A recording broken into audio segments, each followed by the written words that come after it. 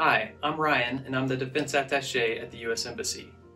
I have 24 years of aviation experience in the Air Force, but my Army, Navy, and Air Force colleagues and I are here in Stockholm to strengthen U.S. Swedish defense and security cooperation.